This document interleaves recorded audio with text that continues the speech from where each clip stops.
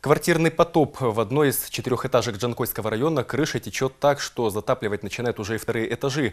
Люди несколько лет борются с проблемой, но возможности жильцов, большинство из которых пенсионеры, ограничены.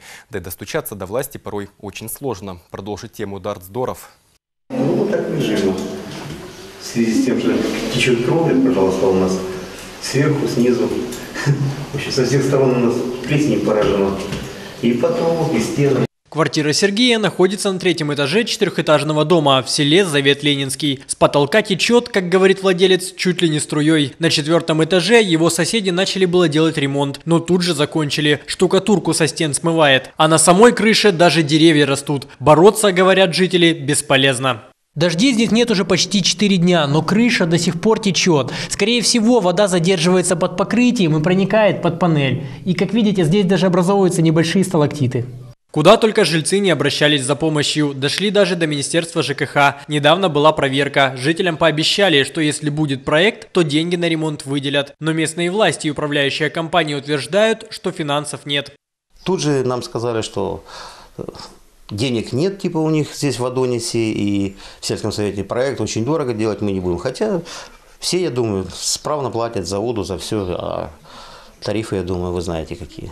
В администрации сельского поселения руководителя на месте не было, а заместитель комментировать ситуацию отказалась. В управляющей компании тоже не души, лишь сторож.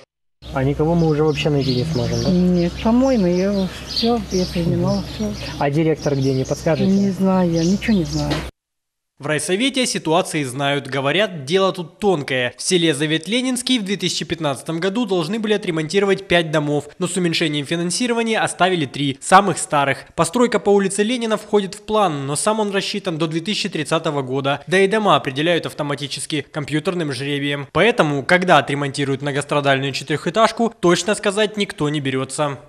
Мы попытаемся внимательно еще раз вникнуть в эту ситуацию с выездом на место, э, разобраться. Если действительно ситуация ну, архи плохая, то мы будем принимать, конечно же, управленческие решения и по этому дому. Люди искренне верят, что понятие «архиплохо» у местных чиновников адекватное, потому что дальше терпеть такую антисанитарию жители не намерены. Говорят, если в кабинетах власти к ним опять не прислушаются, от просьб перейдут к ультиматумам. Эдуард Здоров, Денис Тищенко, Время новостей, Джанкойский район.